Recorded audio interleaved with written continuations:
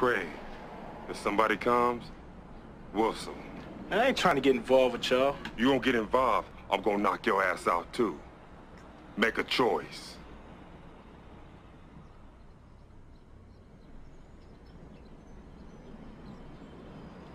Now hurry up.